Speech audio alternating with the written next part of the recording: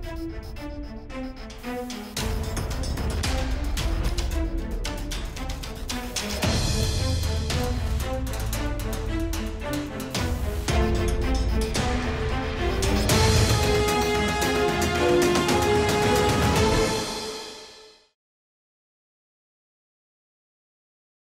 Bună seara și bine v-am regăsit, stimați telespectatori, la emisiunea în direct. Pentru astăzi ne-am propus să discutăm despre un fenomen relativ nou în societatea noastră, este vorba de mediere. Vom încerca să vedem care este specificul medierii, cum este realizat și cât de solicitat rămâne, rămâne a fi de către concetățenii noștri. Aceste aspecte le vom aborda împreună cu Dumitru Lefter, directorul Centrului de Mediere de pe lângă Camera de Comerț și Industrie al Republicii Moldova. Bună seara și bine ați venit! Bună seara, bine v-am găsit! Și Sergiu Oceretni, mediator în cadrul Centrului de Mediere, pe lângă Camera de Comerț și Industrie a Republicii Moldova. Bună seara și bine ați venit! Bună seara, bine v-am găsit! Domnule Lefter, haideți pentru început să deschidem parantezele. Ce presupune până la urmă acest serviciu de mediere? Spuneam la începutul emisiunii că este un serviciu relativ uh, nou, e așa sau nu? Deci, ce putem spune despre medierea propriu-zisă este că el este un serviciu relativ nou dacă ne uităm la specialitățile ordinare. La noi, în cadrul legislativ, ea se regăsește încă din 2007. Ce este drept, nu a fost o lege care să explice în detalii ce înseamnă medierea propriu-zisă. Deci, nou cadru legislativ, anume noua lege 137 din 3 iulie 2015, vine cu mai multe clarificări prin care ajută ca medierea să fie promovată, să fie aplicată și să înțeleasă mai pe înțelesul fiecare. Exact. Haideți să vedem, până la urmă, uh, cine este uh, mediatorul și care este rolul acestuia, domnule Oceretnei? Mediatorul este persoana terță care încearcă să soluționeze un conflict pe care amiabilă dintre părți. Iar în cazul dacă avem un copil minor, atunci conflictul uh, poate fi soluționat anume și cu implicarea unui reprezentant legal, adică părintele sau un reprezentant autorității tutelare a acestui copil. Ce studii până la urmă trebuie să aibă uh, un mediator? Există niște limite foarte bine stabilite? Da, prevederi? Exact. Dacă după legea veche care a menționat-o domnul Lefter, uh, până nu de mult uh, putea mediator să devină orice persoană care are 18 ani și mai mult, fără studii superioare, păi odată cu aprobarea noii legi din 2015 vine cu completare și anume ca uh, potențialul candidat în mediere, mediator, trebuie să posede studii superioare și uh, cel puțin 5 ani de experiență de muncă în domeniul dat. Spre exemplu, dacă este jurist, 5 ani uh, în sistemul juridic, dacă uh, medic 5 ani în domeniul dat, dacă asistent social în domeniul asistenței sociale, deci trebuie să aibă experiență de muncă de cel puțin 5 ani, astfel ca să poată participa pentru obținerea atestatului de mediator. Domnule Lefter, ce se întreprinde în vederea popularizării serviciului de mediere? Deci, medierea urmează a fi promovată agresiv, în sensul bun a cuvântului. Deci, Ministerul Justiției, prin Consiliul de Mediere, care este instituția care reglementează toate toți parametrii acestei medieri, vin cu cu o promovare în detalii, cu un plan de acțiuni de promovare intensiv atât în instanțele de judecată cât și în instituțiile de învățământ. Deci ei urmează a aborda uh, și a aplica politicile de, medie, de promovare a medierii, respectiv uh, pentru a, a aduce la cunoștință cetățenilor Republicii Moldova tot mai mult despre această instituție.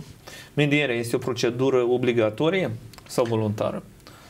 Medierea este o procedură voluntară, deci nici de cum una obligatorie. Părțile de comun acord trebuie să cadă de acord cu procedura dată, deci nu este nici de cum una obligatorie. Uh, experiența internațională ne demonstrează faptul că există state în care este recomandat ca să, să se treacă mai întâi prin procedura de mediere, după aceea ajungem în instanță de judecată. Da? E așa sau?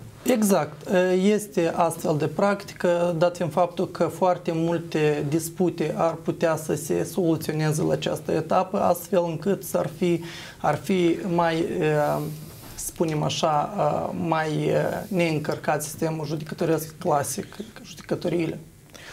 Domnule Oceretne, haideți să discutăm un pic cât de eficientă se dovedește până la urmă a fi medierea. Avem niște cifre, câte, câte cazuri a fost prezent mediatorul și uh, s-au ajuns la un numitor comun?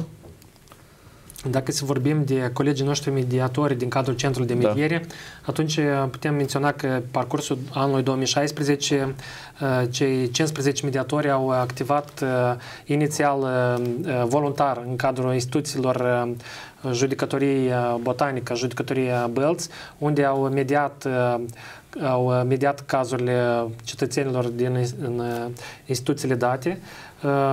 Avem cazuri cu succes unde ei au ajuns, au finisat medierea prin acordul de împăcare și avem cazuri unde sau nu au ajuns la acordul de împăcare. Deci Vreau să spun că dacă la început activității noastre în acestor instituții, atât judecătorii cât și avocații, părțile erau mai sceptici și nu se implicau atât de activ în cadrul medierii, totodată cu promovarea acestui serviciu în cadrul instanței de judecată, am văzut o mai mare abordare acestui procedeu. Și vreau să menționez că chiar în, pe parcursul 2016, în cadrul centrului a fost desfășurat și Uh, prima mediere contra cost.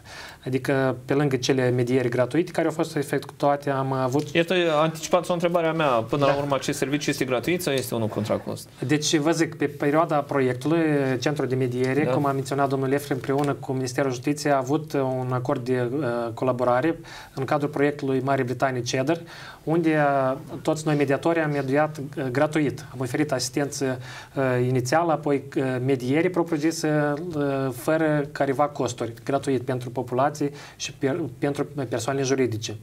Uh, ori la noi, la, în cadrul Centrului de Mediere prin Camera de Comerț, au fost uh, stabilite cele uh, prețuri care ar costa una din mediere și așa zis că cea mai, cel mai mic cost a unei ședințe de mediere în cadrul centrului ar fi de 1500 de lei. Iată, personal am avut această mediere în cadrul centrului unde părțile au ajuns la, la acord prin mediere și fiecare parte a achitat în mod egal. 750, 750 costul acestei mediere. Domnule Lefter, oricine se poate adresa la dumneavoastră pentru a beneficia de acest serviciu?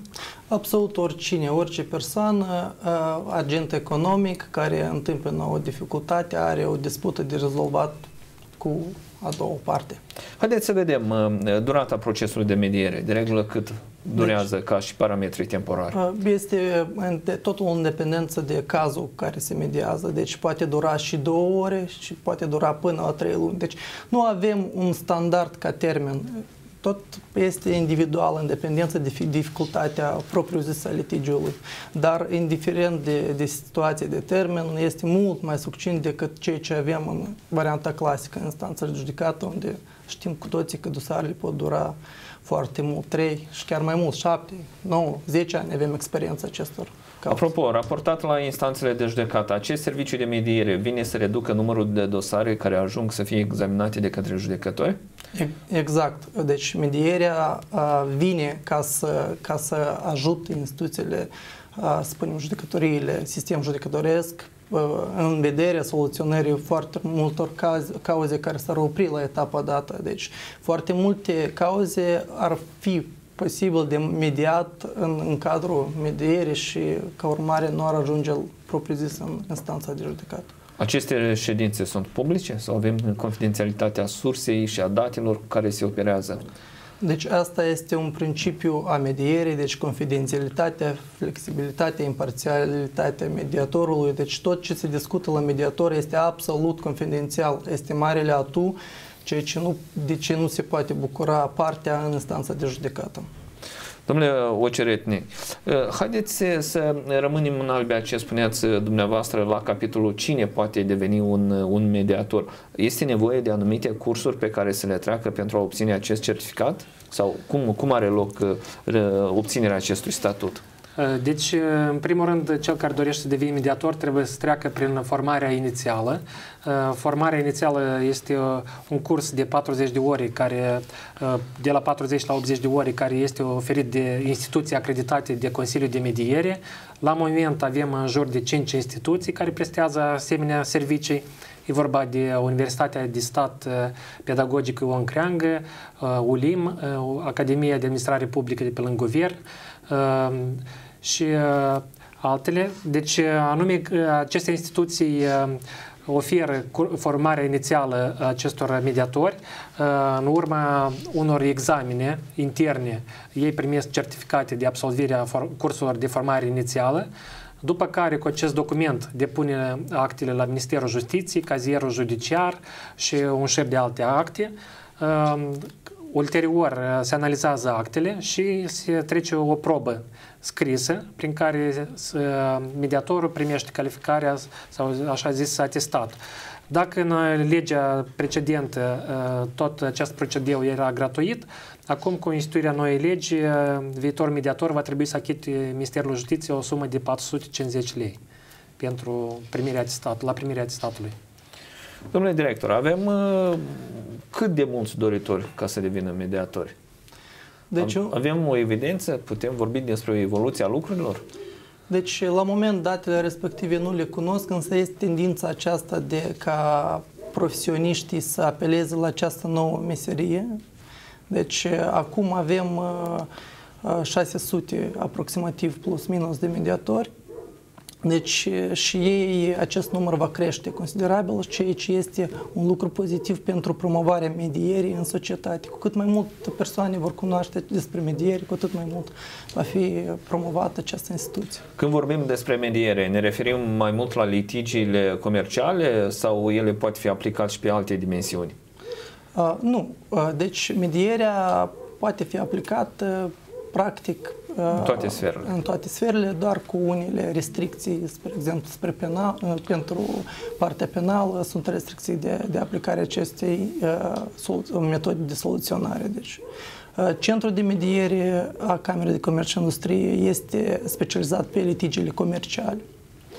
Domnule Oceretne, din păcate puțini cunosc acest uh, mecanism. Ce ar trebui să fie întreprins și aici aș îndrăzni să întreb și de către cine ca să fie mai mult uh, promovat și ca oamenii să aibă încrederea pentru a apela la mediator. Pentru că ca să fim uh, foarte deschiși, trebuie să spunem telespectatorilor că beneficiind de acest serviciu de, de mediere, nimeni nu te împiedică a merge mai târziu în instanță de judecată. Da? E așa sau nu? Haideți să o luăm de la un capăt. Da, desigur, orice persoană dacă a trecut prin procesul de mediere și nu a fost mulțumit cu rezultatul atins, poate să dea să atace această hotărâre la instanță judecată. Ori invers, dacă o persoană trece prin etapa judecătorească și la, o, la un moment spune că nu mai dorește să continue pe această cale și poate vine la mediere. Adică poate alterna atât o, într-o direcție cât și în cealaltă. Totodată uh, ce întreprindem pentru a promova? Și cine pentru a promova, să vreau fie mai atent? Vreau să menționez că sperăm că odată cu constituirea noului Consiliu de Mediere, uh, acest uh, institut al medierii, cei ce coordonează toți mediatorii de Republica Moldova, e vorba de Consiliul de Mediere format din acei 9 persoane. Sunt mediatori propriu-zis plus reprezentantul Consiliul Național de Asistență Juridică garantat de stat, reprezentantul notariatului, Uniunii Notarilor, Uniunii Avocaților și societatea civilă. Deci, odată cu nouă componență, sperăm ca ei, acest Consiliu, într-adevăr, să fie mai activ, spre comparație de cel trecut, deoarece uh, care era partea negativă a Consiliului precedent, deoarece aceste persoane erau niște persoane uh, care lucrau uh, în mod uh, voluntariat, uh, mai mult din propria inițiativă, nu erau remunerați. Ori, prin legea nouă, lucrul acestui Consiliu va fi remunerat per ședință și sperăm cu introducerea acestei remunerări a Consiliului de Mediere să aibă și o eficacitate mai mare acestui Consiliu, în primul rând și de a promova, de a introduce noi mecanisme, formări continuu pentru mediatori, astfel ca să fie util întregii țări. Și vreau să zic că anume mediere prin ce este avantajos? Că în urma procesului de mediere au de câștigat ambele părți. Pe când dacă mergem în instanța de judecată, o parte rămâne învigătoare, alta în pierdere. Ori aici mediator, rolul mediatorului este de a asculta ambele părți și de a le propune să-și găsească cale de mijloc.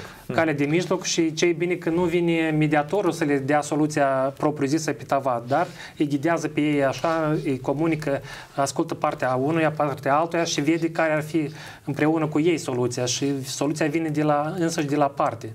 Asta e... Dar se poate întâmpla o parte să refuze medierea atunci când se procedează? Da, sigur, avem și cazuri când vine o parte la noi la centru de mediere, solicită medierea, noi contactăm a doua parte și au fost cazuri când ei refuză din start, alte cazuri am avut când au, s-au prezentat la centru ambele părți și în cadrul primei ședințe au văzut că nu, oricum nu merge spre mediere. Ei credeau că vin la noi în cadrul centrului, vor fi ascultați și noi o să le eliberăm un certificat că ei au fost la noi în, în prima ședință de mediere. Le-am spus că nu, este un proces uh, amplu. amplu și trebuie, deci, să semnăm un, un acord, un contract de mediere prin care să desfășoare mai multe ședințe, să avem și un acord de împăcare dacă ajungem la el. Și asta e. Domnule Lefter, eu vreau uh, să uh, ne oprim un pic la pregătirea persoanelor ce urmează să uh, activeze în calitate de mediator. Îmi notasem aici și o întrebare. Oare nu ar fi fost cazul ca acest spectru de posibilități să fie restrâns și când zic lucrul ăsta mă refer la faptul că un psiholog, spre exemplu, ar face mult mai bine față cerințelor care sunt înaintate față de un mediator, cunoscând de fapt temperamentul și modul de a comunica? Cum se explică acest spectru larg? Deci nu este o restricție ca să da. vorbim pentru un mediator. Ați menționat un punct important. Un mediator trebuie să aibă astfel de abilități ca un psiholog. Deci ca să poată înțelege părțile, să poată puncta acele momente importante pentru aceste părți, ca, ca să poată medierea, ca să producă un efect pozitiv pentru ambele. Sau câte părți, părți sunt, exact. Dar nu este obligatoriu ca să fie un psiholog. Uh, bună oară, un psiholog uh, este foarte bun în, în ceea ce mediază, respectiv cazurile unde sunt, eu știu, conflicte de familie, unde poate abordarea necesită careva alte abilități. Uh, când vine vorba despre cauzele comerciale sau penale, de ce nu, sunt importante și abilitățile lor altor specialități. De exemplu, chiar și a unui jurist, de ce nu? Nu este o chestie obligatorie, dar uh, procesele comerciale sunt înțelese mai bine de un... Un avocat poate fi mediator și el? Exact. Deci un avocat uh, poate fi pentru că, cum am mai spus, important este abilitățile de mediator, mediator să le cunoască, deci tehnicile speciale pe care, cum a spus uh, colegul meu Sergiu, să să, să le poată folosi uh, la momentul potrivit în cadrul acestei medieri, în cadrul procesului de mediere. De ce am pus în discuție acest aspect? Pentru, pe, pentru că pe parcursul documentării pentru această emisiune am găsit o teză și pe emisiunea dumneavoastră să-i dau citire. Unii judecători critică activitatea profesionalismului mediatorilor și asta pentru că tot mai mulți tineri obțin certificate de mediator, dar nu fac față în calitate de avocat. Credeți că au dreptate? Uh, consider că nu au dreptate.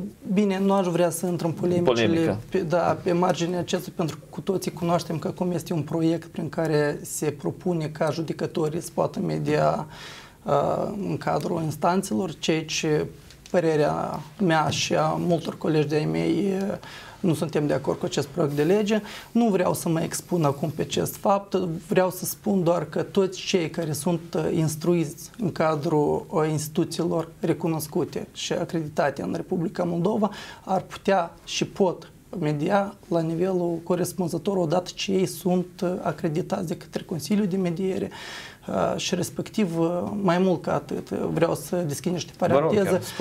Centrul de mediere a Camerei de Comerț și Industrie deci este compus din mediatori acreditați atât pe plan național, cât și internațional de către CEDR Londra. Deci este instituția internațional larg cunoscută, unde au avut parte de o instruire mult mai, spunem așa, specifică, avansată pe studiu de cazuri, pe workshop-uri. Deci, cu siguranță, metoda de predare, de instruire a mediatorilor poate fi îmbunătățită și trebuie fi îmbunătățită, pentru că mediatorii, de fapt, sunt primul pilon de promovare a instituției mediere. Atât timp cât să avem oameni instruiți, mediatori, profesioniști, care o să poată presta astfel de servicii și părțile vor beneficia de servicii calitative, cu atât mai mult uh, va fi promovată medierea la noi în stat. Pentru că este o instituție incredibil de uh, utilă pentru sistem în general.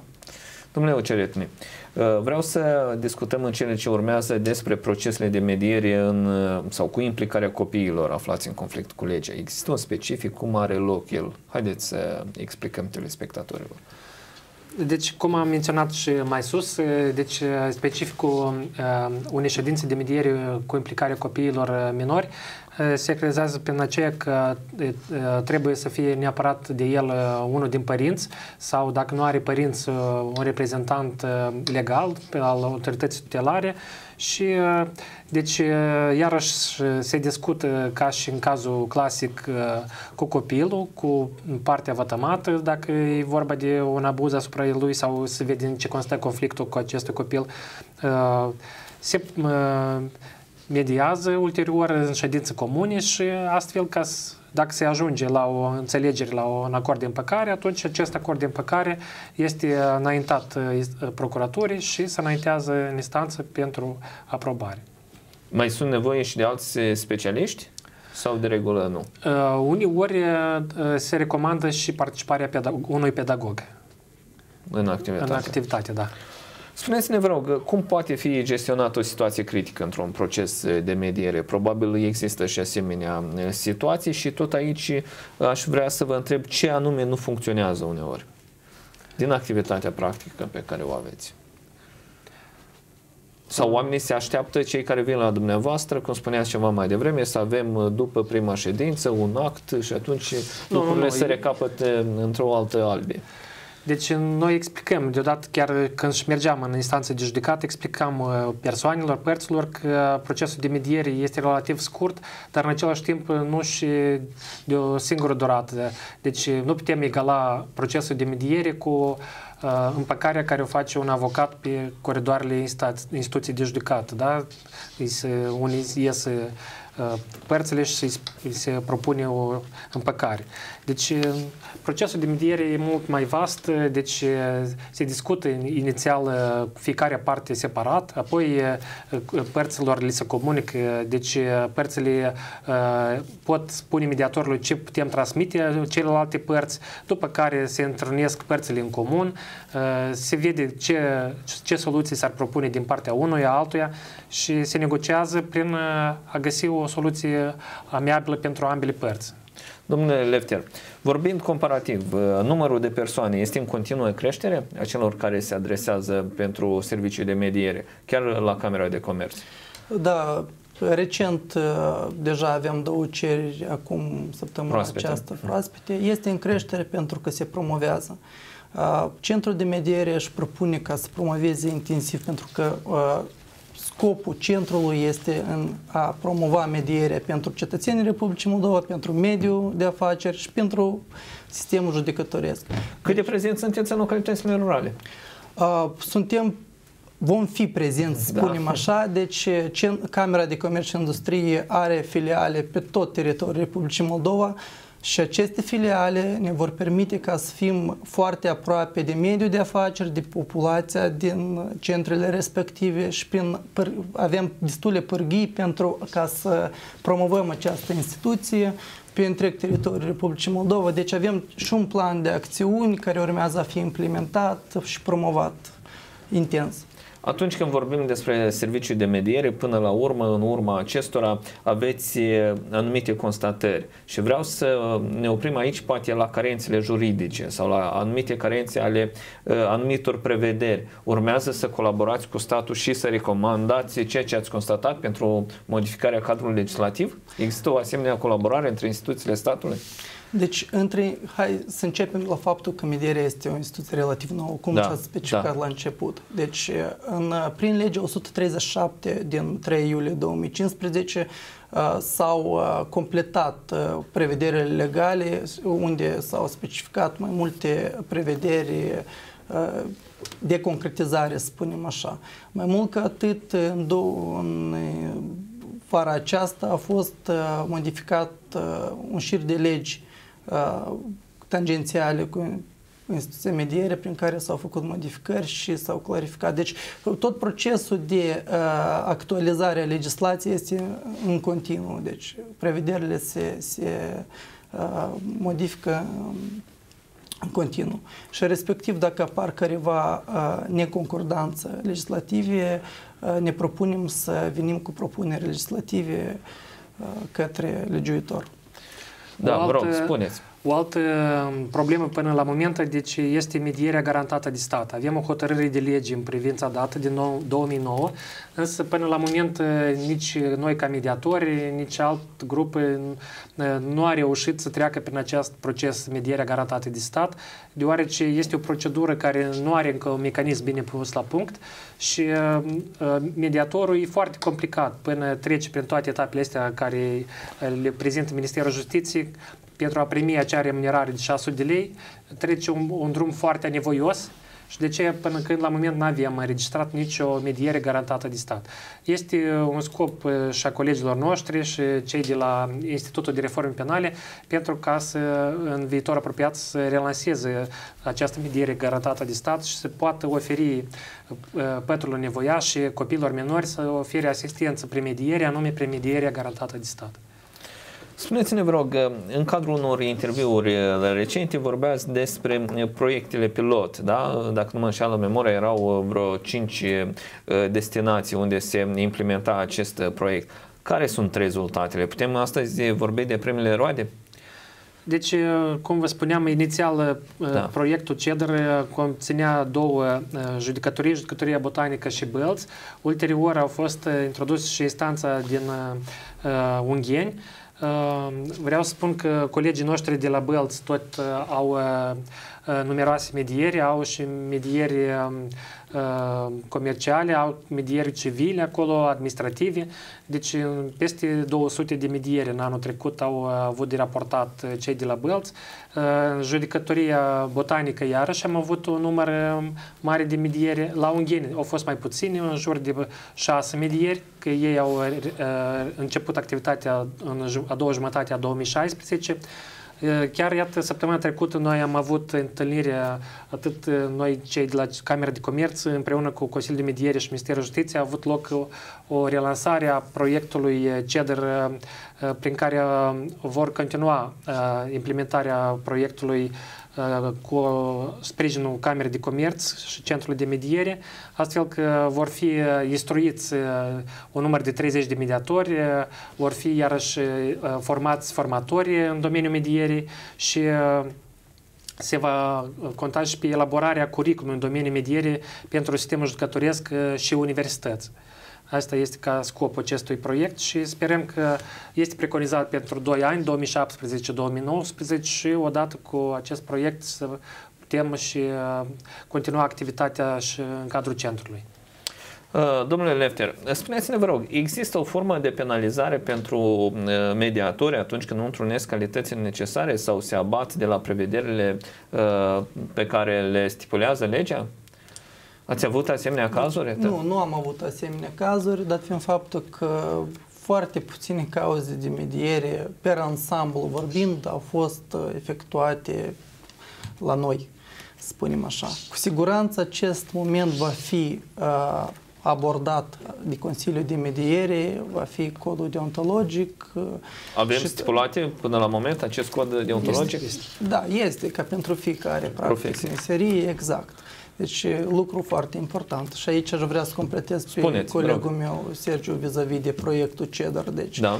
și de promovarea acestei, rezultatul programelor pilon. Deci, practic, aceste programe pilon au uh, trezit această, această instituție și chiar și judecătorii au avut parte uh, și au avut posibilitatea să discute cu mediatorii, să, mulți din ei chiar să înțeleagă ce înseamnă acest proces.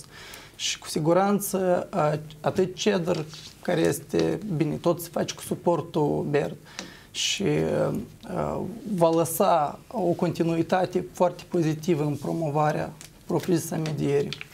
Lucru foarte da. important. Atunci când vorbim despre mediere, ar însemna că în viitorul apropiat, nu știu, și când zic lucrul ăsta mă gândesc poate până în 2020, uh, el va fi omniprezent?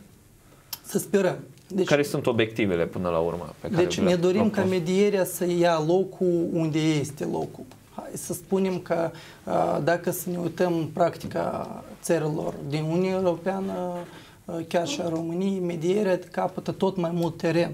Deci ca cale alternativă de soluționare a disputelor.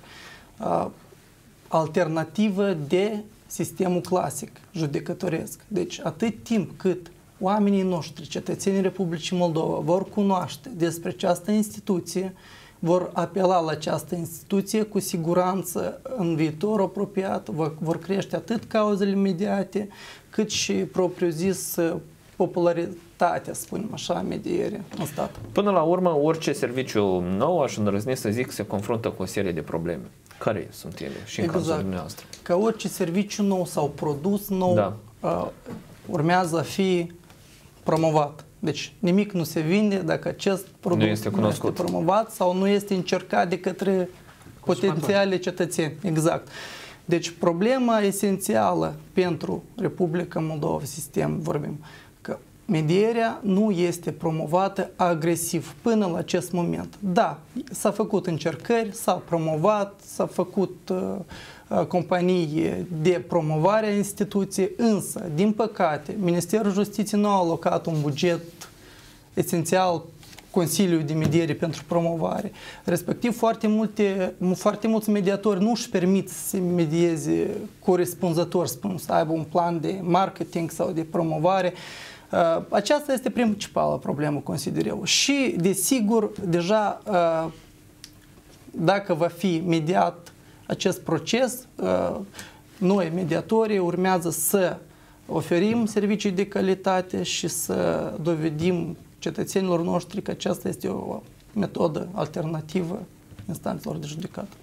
Domnule Oceretni, prețul până la urmă este unul accesibil? Spuneați ceva mai devreme, avem prim, un prim caz contraplată. Cum este format? În baza căror criterii? Deci a fost uh, o comisie în cadrul Centrului de Comerț prin uh, Centrul uh-huh. de mhm. Mediere, unde au stabilit prețurile date și uh, s-au luat după volumul litigiului. Dacă, deci, cum am menționat, 1500 este litigiu cel mai mic, ulterior, dacă cât crește suma litigiului, ești și comparativ și suma medierii puțin mai mare. Dar ce, ce vreau să spun că comparativ cu dacă îi oferi omului gratuit și contraplată, deci o atârnare este alta. Deci, e testată deja, da? Da, e testată de noi ca mediatori când ofeream gratuit în cadrul proiectului inițial în judecătoria botanică și Belt și oamenii se uitau sceptic ce fel la de... calitatea da, serviciului. la calitatea serviciului, cine suntem, cum prestăm serviciile. Dacă el asistenții avocatului oferea 5-6 mii, iar aici gratuit, gratuit da. soluționează calea lui și practic era puțin nedumerit. De asta și, cum am menționat și Dumitru, este necesar de această promovare la întreaga populație ca să cunoască cât mai mult care sunt beneficiile, în ce constă procesul de mediere, cum se pot adresa, unde ne pot găsi. Iată, și referitor la Întrebarea adresată dumneavoastră mai sus, da. referitor da. la codul deontologic, vreau să zic că Consiliul de Mediere a aprobat în 2016 februarie codul deontologic a mediatorilor și, într-adevăr, dacă mediatorii se abat de la acest cod, este mustrare, avertisment, mustrare și chiar suspendarea activității pe o durată de până la șase luni. Să înțeleg că nu avem precedente în Republica Moldova. Până la moment nu avem. Deci avem cazuri de suspendare calității de mediere atunci când uh, colegii noștri mediatori uh, își deschid birouri individuale de mediere și uh, în cazul când pe parcursul jumătate, un an de zile ei nu au avut cazuri de mediat, iar datorii la structurile statale sunt, la asigurările medicale, asigurările sociale, deci este nevoie de achitat și din lipsa aceasta ei sunt nevoiți să suspende activitatea sa. Iată numai în cazul acesta. Ca să degajăm un pic uh, situația, uh, vă adresez o întrebare tranșantă. Să înțeleg că nu sunteți priviți cu ochi prea buni de către avocați, pentru că într-o măsură sau alta le luați bucată de pâine. Domnule director, e așa sau nu? vă pun la zid. Sunt avocați între avocați, judecători între judecători, mediatori, nu putem mediatori. Generaliza, deci nu da? putem genera. Avem colegi avocați care fac și mediere, deci sunt buni mediatori. Deci, sub nicio formă nu putem. E vorba de percepție, e vorba de până la urmă de inteligența fiecărui de a aborda. Uh, pentru că noi, mediatorii, nu suntem uh, sub nicio formă uh, rivalii avocaților. Cine de regulă se adresează? Cine sunt persoanele care dau prioritate medierii? Deci, de regulă, persoanele care au o cultură generală mai ridicat. mai, mai ridicată. Un IQ mai ridicat, da? Da, un IQ care citesc, care știu, care uh, sunt conștienți că merg într-o mediere unde el cu partea poate găsi o soluție comună, deci stă la mâna lor soluția și nu așteaptă ca cineva, un judecător sau un arbitru, să decidă pentru ei. Asta e foarte, este un moment Ați, important. Da, spuneți. Dacă permiteți, vreau să adaug aici, avem spuneți. Uh, un caz la judecătoria botanică, atunci când ofeream în cadrul proiectului uh, medierea gratuită, uh, s-a adresat cu un caz două doamne, deci care era reprezentat de un avocat Ehm, și acest avocat, când a văzut ce costă procesul mediere, eh, care sunt avantajele ei, eh, ulterior am eh, regăsit această persoană în lista mediatorilor. Deci el, dumnealui a trecut formarea, a plăcut, a plăcut da. procesul mediere și deci avem și invers. În rezultatul procesului de mediere avem și mediatori formați din cadrul avocaților. Și unica ce, deci în ce, care este carența? Nu, nu carența, dar prin ce se deosebește un avocat de mediator, că, deci avocatul atunci când mediază un caz, Uh, ulterior, el nu poate să-l asiste pe aceeași parte uh, în calitate de avocat. Deci asta este... O prevedere. Da, o prevedere, da. În rest, deci dacă el mediază, atunci oferă șansa colegului sau, sau cuiva să-l reprezinte în instanța de judecată sau în alte procese. Domnule Lefter, am vorbit despre proiectele internaționale datorită cărora Republica Moldova a făcut acest pas. Până la urmă, vreau să aflu de la dumneavoastră. Avem niște rezultate și avem niște acorduri de colaborare cu țările străine. Care este starea de lucruri acolo? Este un număr mult mai ridicat la capitolul adresarea cetățenilor la mediatori? Sigur, uh, dacă să vorbim și să dăm exemplu da. cazul Marii Britanie sau Italiei, așa Germaniei, deci populația de acolo este mult mai familiarizată cu acest proces. Deci acolo uh, medierea lucrează, hai să spunem așa, de mai de mult. Deci a reușit să-și facă un nume ca o metodă alternativă de soluționare a disputelor. Și cu siguranță noi avem de învățat de la aceste țări cum să implementăm politicile de promovare și dezvoltare acestui segment la noi în țară. Probabil telespectatorii noștri se întreabă de ce în Republica Moldova doar după 25 de ani de independență a ajuns mediere. Bine, să nu exagerez, poate hai să zicem 20 plus minus, poate cunoașteți termenul chiar mai exact. La noi, de altfel ca în majoritatea Sau lipsește țărilor, o cultură juridică. Uite, acum mă gândesc, poate e un argument. Să începem de la faptul că dacă e să vorbim despre țările care au fost în cadrul RSS, practic în cadrul tuturor țărilor avem aceeași situație. Deci venim din alt mediu. mediu nu ar fi asta unicul motiv, spunem așa, am avut legea din 2007 care era una necompletă, nu oferea clarități în domeniul dat. De curând, spunem așa, din 2015 este cadrul legislativ nou care a oferit această explicație și vine spre promovarea instituției. Din cauza aceasta, mai mult să avem ce avem la moment. Da, Vreau spune. să spun că deci, medierea este relativ nouă, dar dacă să facem o comparație cu serviciul de probațiune, atât medierea cât și probațiunea deci s-au dezvoltat inițial sub forma unor proiecte. Iată, chiar în cadrul Institutului de Reforme Penale, deci ele practic au, s-au renăscut Republica Moldova în odată, în 2006-2007, deci cam odată au apărut și legea probațiunii și legea mediere. Ori la nivelul probațiunii s-a dezvoltat mecanism la nivel de stat, adică este un oficiu uh, care funcționează cu filiale în fiecare uh, raion. Uh, la mediere s-a format Consiliul de Mediere, cum am menționat mai sus, era un consiliu care mai mult voluntariat activa, cei care erau membri în Consiliul de Mediere activau de bază în alte servicii și după orele 17 puteau să mai vină să dedice o oră, două uh, pe săptămână sau la două săptămâni pentru Consiliul de Mediere. Și cred că aici a fost uh, scăparea sau delăsarea medierii. Ori odată cu relansarea noii legi și odată cu, iată, acum cu venirea noi membri în Consiliul de Mediere, sper să activizeze activitatea acestora și să dezvolte atât la nivel central cât și în Republică să-și dezvolte. Să, să înțeleg că nu există o limită de câte ori o persoană se poate adresa la, uh, la mediator. Să înțeleg că de câte ori ai nimerit în impas, de atâtea ori poți ajunge la mediator, da? Exact. Și cel mai important e și a doua parte, Partea care mult. este partea conflictului, să dorească să meargă spre înțelegere și pe împăcare. Ori vreau să spun așa, pur omenește, deci trebuie să putem să cedăm, să iertăm ca să mergem spre mediere. Ori... Medierea se finalizează cu acel act de împăcare? Exact. Are o valabilitate juridică? Deci dacă Adesea sunt uh, părțile uh, juridice, deci uh, acest contract poate fi legalizat la notar, iar în cazul cetățenilor, acest act se legalizează în instanța de judecată.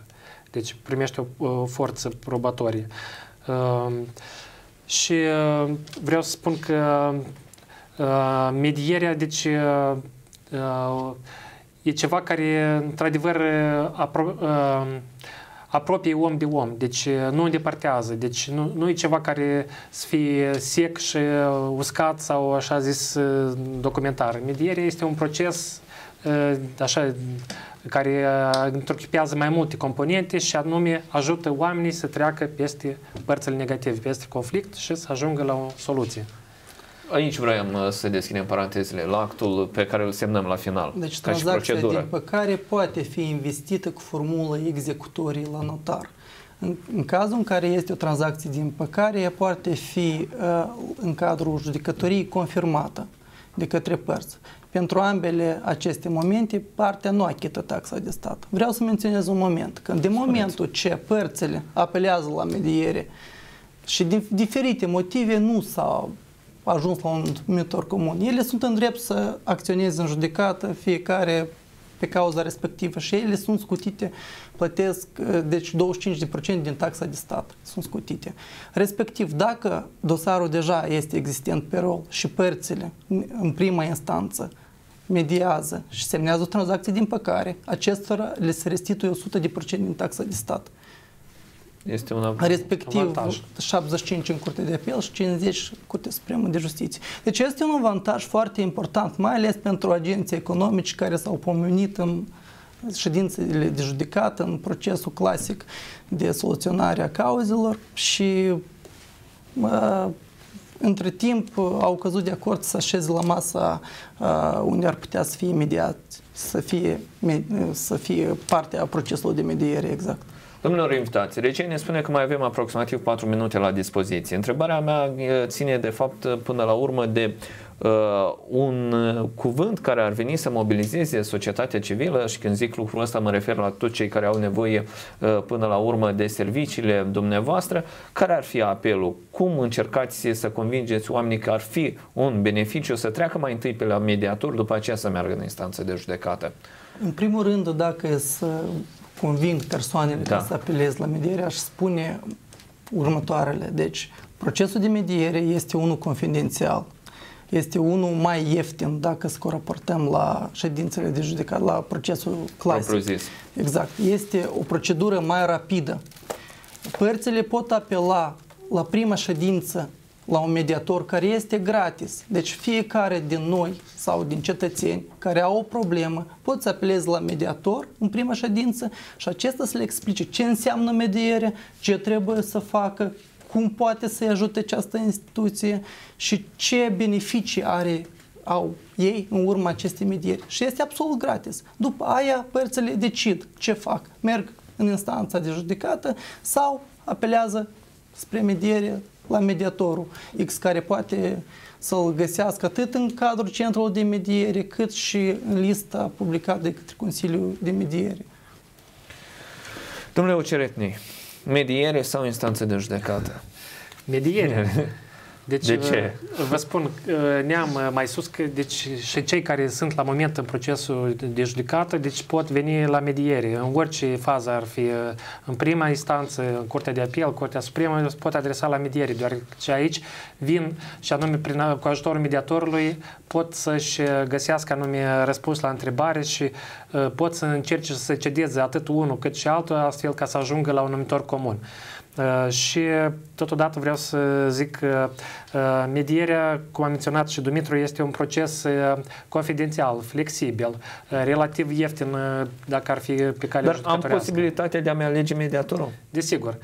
Puteți da. apela la mediator găsindu-l în tabelul mediatorilor atestați pe site-ul Ministerului Justiției ori pe site-ul Ministerului Consiliului de Mediere unde găsiți tabelul mediatorilor atestați și conform noi legi avem centre de mediere sau organizații de mediere cum este și centrul nostru pe lângă Camera de Comerț. Atunci când vorbim despre mediere și probabil cu acest aspect vom încheia emisiunea de astăzi, ar trebui să fim atenți la modul în care vom opera cu datele sau confidențialitatea este asigurată, revin și insist asupra acestui fenomen și pe o, o perioadă ulterioară a procesului de mediere. Suntem siguri că nimeni nu mai are dat, uh, acces la datele da. nici peste 2 ani, 3, nu știu. Sigur, uh, confidențialitatea datelor uh, în cadrul procesului medierii este respectată și anume cu fiecare de parte se semnează contractul de mediere prin care se explică toate uh, momentele date, anume și inclusiv momentul cu uh, confidențialitatea datelor. Uh, Unica ce este, spre exemplu, în cauzele penale, dacă uh, cazul acolo și ține de uh, poate fi uh, impus organelor ierarhiei superioare, spre exemplu, procuratura, este judecată dacă este împotriva acestui copil sau ceva acolo dat caracter de asta. Și dacă e solicitat. Da, dacă este solicitat. În rest, deci tot procesul medierii este confidențial.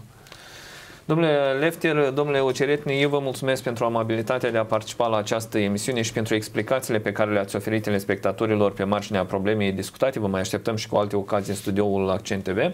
Stimați telespectatori, a fost emisiunea în direct. Sunt Vlad Madan, vă mulțumesc pentru atenția care sper că ne-ați urmărit o seară bună.